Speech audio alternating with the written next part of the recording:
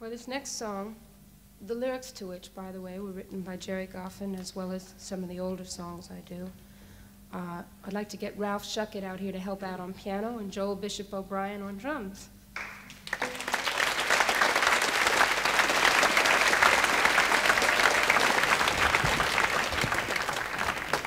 Hiya.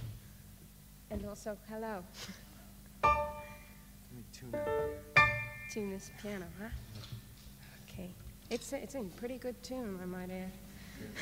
So are you. Ah, thanks. Little friendly rapping. this tune is called Smackwater Jack.